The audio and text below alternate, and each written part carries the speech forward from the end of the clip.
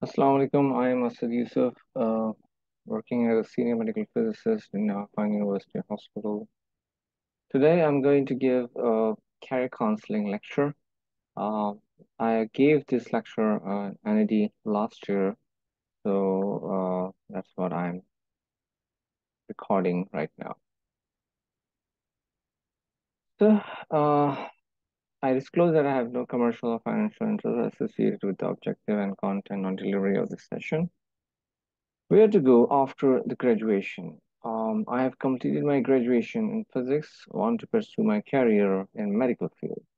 I don't want to be a teacher. I want a practical field where I can apply physics.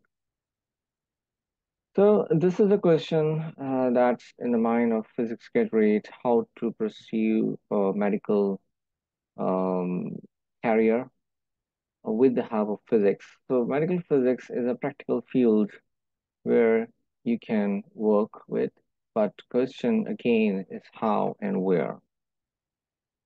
So uh, once we able to understand what is medical physics, then we may explore easily. So it's a kind of healthcare professional with a specialized training in medical application, physics involving the use of X-rays and gamma rays, use of particulate radiation, ultrasound, magnetic and electric fields, infrared and ultraviolet, heat and laser in diagnosis and therapy. So where to go? In Pakistan, especially, um, the best uh, institute is PIEAS, which gives degree of medical physics. It's located in Islamabad. It has a two-year degree program with the clinical attachment. And uh, they also give a project to the individuals. Um, there is a stipend and the self-finance program. Both are available. The other universities uh, usually give MS in physics, specialization in medical physics.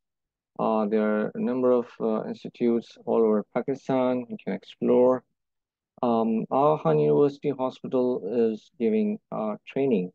Uh, this is a two-year training certificate program, structured and uh, following the guideline of WPM, IAEA, and um, Cancer Agency Canada. It's involved a didactic and hands-on both. The other centers gives one year or six month on-job training for medical physics, and it's a kind of job where you learn gradually from the seniors.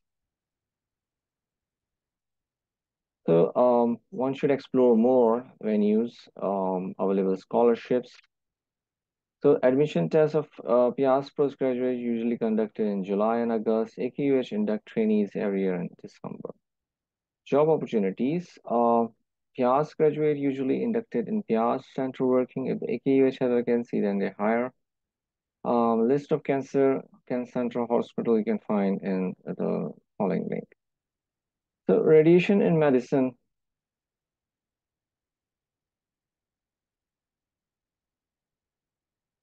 Radiation in medicine um, consists of two, therapeutic and diagnostic. Um, radiation therapy and laser therapy are a therapeutic part. Diagnostic involve radiology and nuclear medicine. So what is radiation therapy? Radiation therapy works by damaging the DNA within cancer cell and destroying their ability to reproduce. When damaged cancer cells are destroyed by the radiation, the body naturally eliminates them. Normal cell can be affected by the radiation, but they are able to repair themselves. So this is the radiobiology or biology of what happens when the radiation uh, interact. So there are two kind of effects, indirect effect and direct effect. So in indirect effect, radiation interact with the water molecule as the body is composed mainly with the water. So the water molecule is composed into two and hydroxyl ion, which cause the damage at um, produce a free radical and that hydrogen peroxide interact with the DNA and damage the DNA. So this is a flow chart of radiotherapy procedure. First localization, then prescription, then setup, delivery, and verify. And these are ongoing uh, verification. The professional involved in radiotherapy are radiation oncologist, medical radiation physicist, dosimetrist, radiation therapist, radiation oncology nurses. In Pakistan, we don't have a dosimetrist post in any institute. Type of radiation therapy, external and internal. External is uh, delivered with the help of LINAC or cobalt or proton, heavy ions, whereas uh, internal include seeds implant, brachytherapy.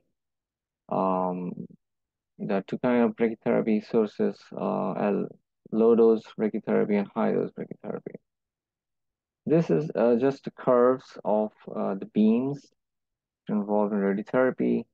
So this is a typical photon profile for uh, PDD percentage depth dose, how the dose is deposited in the body with the photons. If the heavy, if we have a low energy photon, then the skin dose is higher.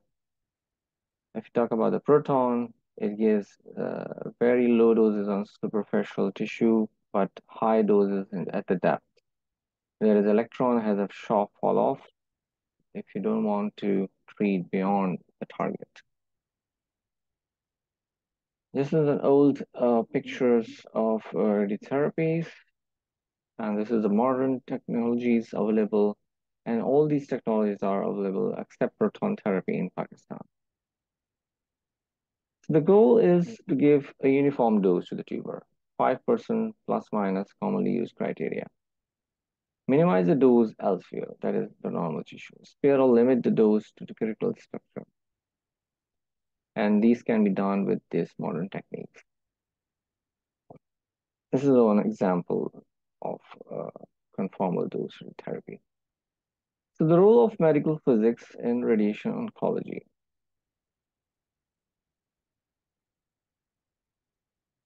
Equipments, uh, selection, specification, acceptance, commissioning, calibration, quality assurance, whereas in treatment planning, management of QA treatment planning, beam data management, simulation, patient data for treatment planning. Whereas in dosimetry, they used to do those calculation formalism, special techniques, the special dosimetry, in vivo dosimetry. And also they play a role in radiation protection, where the regulatory radiation survey, personal monitoring involved, and also the facility design, which is the initial part of uh, starting the radiation therapy department, and uh, academic administration. The role of MP in radiology and nuclear medicine is radiation protection, quality assurance and quality control, dosimetry, calibration, training, education, research, equipment selection, overall supervision of radiation facility. Diagnostic areas implication involve X-rays, gamma rays, ultrasound radiation, MRI, and therapeutic and diagnostic application of radionuclide involve technetium-99, PI, TO01, iodine-131.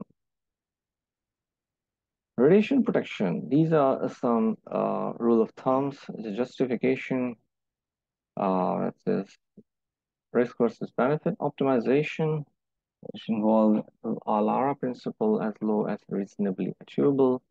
And the limitation was defined with the help of the doses defined by the regulatory authorities. This is the typical bunker design which in our, in our center. Myth of radiation among the masses. Fear they become radioactive. Radiation therapy will cause me to lose my hair. Radiation therapy is painful, permanent damage to the patient body. So these all are myths.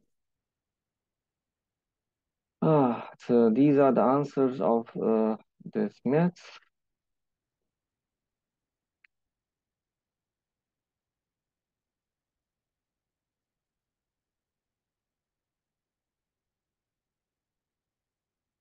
The typical radiation levels in radiotherapy is monitor workers is 0.5 millisievert, which is way too low as per recommendation.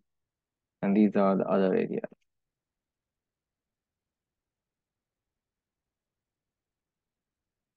These are the areas uh, for radiation in hospital.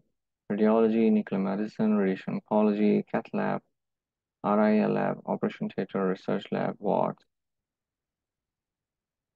what we expect from the trainee candidate or the student who want to do a research.